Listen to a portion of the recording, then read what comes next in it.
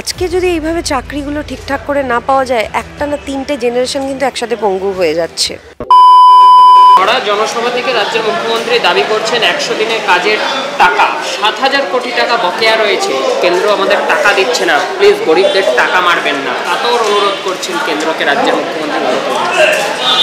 দেখুন এই রাজ্য সরকার আর কেন্দ্র সরকারের কি বিষয় আছে? আমি মানে এদের ভেতরে ভেতরে কি ব্যাপার আছে আমি সেটা বলতে পারব না। তবে আমিও তাহলে একটা অনুরোধ করতে পারি যে আপনার ভাইদের বলুন, এই গরিব গরিব মানুষদের যেন চাকরি না মারে, টাকা না মারে। যেভাবে নিয়োগ দুর্নীতি সামনে আসছে, আর যেখানে বকেয়া দিচ্ছে না, অনেকগুলো এখন কিন্তু প্রশ্ন আসছে, মিড ডে মিল। এর আগেই আমরা ইউজিসি দেখেছি। অনেক ক্ষেত্রে কিন্তু এরকম হয়েছে যে কেন্দ্র সরকার টাকা পাঠিয়েছে, সেই টাকা কিন্তু ঠিক খাতে খরচ হয়নি। তারপর এখন আবাস যোজনা নতুন। সুতরাং বকেয়া যদি সেরকম কিছু থেকে থাকে, তার একটা এক ফোরাম রয়েছে, সেই ফোরামে বসে বসুকুনি উনি ফোরামে চিঠি করুক, ফোরামে ফেরত চান।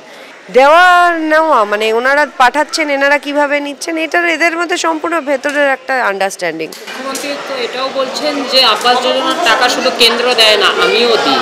দাবি করছেন মুখ্যমন্ত্রী। রাজ্য সরকার আবাস যোজনার টাকা দেয়। মানে ওই টাকাগুলো কি তাহলে উনি যেটা বলছেন যে প্রথম কথা হচ্ছে ওনার স্টেটমেন্টে অনেক ভ্যারিয়েশন থাকে। উনি একটা মঞ্চে এই কথা বলেন নেমে আবার যখন অন্য একটা মঞ্চে যান অন্য রকম কথা বলেন এটা আমরা সকলেই দেখে এসেছি।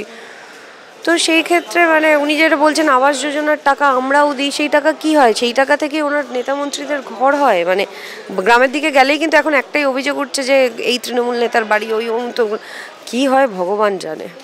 বন্যা তিরিশ লক্ষ তিন লক্ষ পুকুর কাটা হবে। বলছেন রাজ্যের মুখ্যমন্ত্রী মমতা বন্দ্যোপাধ্যায়। বিভিন্ন পাড়ায় মহল্লায় তো অভিযোগ যে পুকুর বোঝাই করে তৃণমূল নেতাদের বাড়ি তৈরি।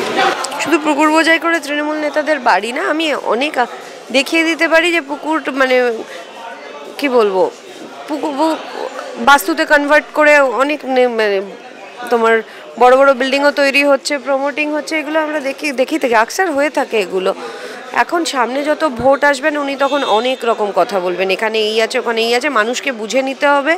সাতশো দিনের ওপরে মানে সব ইস্যু যদি আমি ছেড়ে দিই, মানুষকে একটা জিনিস বুঝে নিতে হবে, সাতশো দিনের ওপরে কিন্তু এখনও কতগুলো ছেলে মেয়ে রাস্তায় বসে রয়েছে, নিজেদের ন্যায্য অধিকারের জন্য। সেখানে কিন্তু মমতা বন্দ্যোপাধ্যায়ের বক্তব্য হচ্ছে যে ভিক্ষা চাইবে না, সময় মতো সব পেয়ে যাবে। এই ওয়ার্ডগুলো কিন্তু উনি নিচ্ছেন। আজকে যদি এইভাবে চাকরিগুলো ঠিকঠাক করে না পাওয়া যায়, একটা না তিনটে জেনারেশন কিন্তু একসাথে পঙ্গু হয়ে যাচ্ছে আমাদের। সেটা মানুষকে বুঝতে হবে, বুঝে এখন পদক্ষেপ নিতে হবে। দাঁড়িয়ে রাজ্যের মুখ্যমন্ত্রী মমতা বন্দ্যোপাধ্যায়ের শোনা গেছে?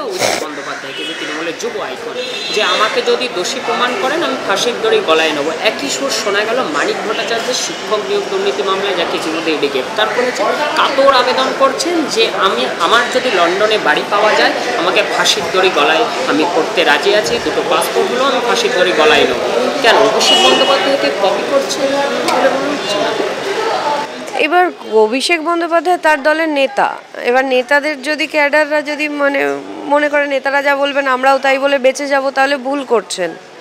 উনি বাঁচবেন না। এবার দেখো, একটা একটা সাবজুটিস ম্যাটার মানিক বন্দ্যোপাধ্যায়ের বিষয়টা। তো সেখানে কাও তা, ওনার কোথায় বাড়ি আছে, কোথায় পাসপোর্ট আছে, কোথায় সোনা গয়না আছে, কার কাছে কি লুকিয়ে রেখেছে, ওনার কটা বিয়ে, আমাদের এইসব জেনে লাভ নেই। আমাদের এতটুকুই জানতে হবে, যেটা আমি ব্যক্তিগতভাবে মনে করি যে যাই করে থাকুক না কেন, উনি চুরি করেছেন। আজ না হোক কাল সেটা প্রমাণিত হবে। যখনই বিষয়টা সামনে আসবে বিষয়টা প্রমাণিত হবে তখন যেন শাস্তির থেকে কেউ ছাড় না পায়। শেষ প্রশ্ন প্রাক্তন রাজ্যপাল জগদীপ ধনকর যখন ছিলেন কথায় কথায় আমরা দেখছি রাজভবনে বিজেপি বিধায়করা দৌড়ে গেছে এখন দেখছি রাজ্যের মুখ্যমন্ত্রী মমতা বন্দ্যোপাধ্যায় বিধানসভা থেকে বেরিয়ে রাজভবনে দৌড়ে যাচ্ছে দেখো এখন বিষয়টা হচ্ছে রাজ্যপালের সাথে মানে রাজ্য সরকারের একটা ভালো সম্পর্ক থাকবে এটাই তো স্বাভাবিক। যদি ভালো যারা যদি ভালো না থাকে সেইটা। আর রাজ্যপাল উনি নতুন এসছেন তো, উনি এখন অনেক কিছুই জানেন না, ওনার এখন পুরো পশ্চিমবঙ্গটাও ঘুরে দেখা হয়নি আমার মনে হয়। কটা জেলা আছে, প্রত্যেকটা জেলাতেও ওনার হয়তো যাওয়া হয়নি, উনি ঘুরে দেখেননি। সময় যেতে দাও। যেদিন এদের কোনো রকম দুর্নীতি নিয়ে রাজ্যপাল কথার মুখ খুলবেন, তখন দেখবে জগদীপ জগদীপ ধনকরের সাথে, যদিও বা ওটাও লোক দেখানো ছিল, পরে যখন জগদীপ ধনকর উনি যখন উপরাষ্ট্রপতি পদে- যখন প্রার্থী ছিলেন, এই মানে ভোট কাটা তো দূরের কথা।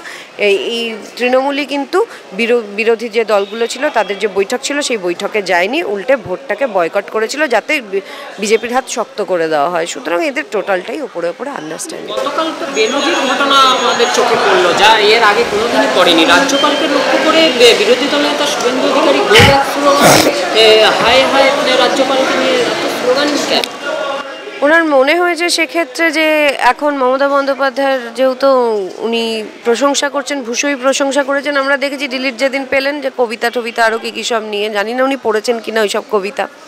তো তার জন্য এখন ওনার মনে হয়েছে, মনে হওয়াতে উনি বলছেন। সেক্ষেত্রে দেখো সব কিছুরই একটা ঠিকঠাক পদ্ধতি থাকা দরকার, সেটা আমি বিরোধিতা করি। বা কোনো কারোর প্রশংসা করি, এগুলো এনাদের একটু মাথায় রাখা উচিত। উনি একজন উনি একজন সাংবিধানিক পদে বসে রয়েছেন, একজন রাজ্যপাল।